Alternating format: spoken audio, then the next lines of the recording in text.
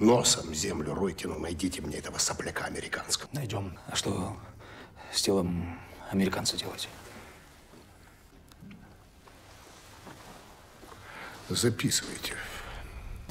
Был убит агентами мирового империализма.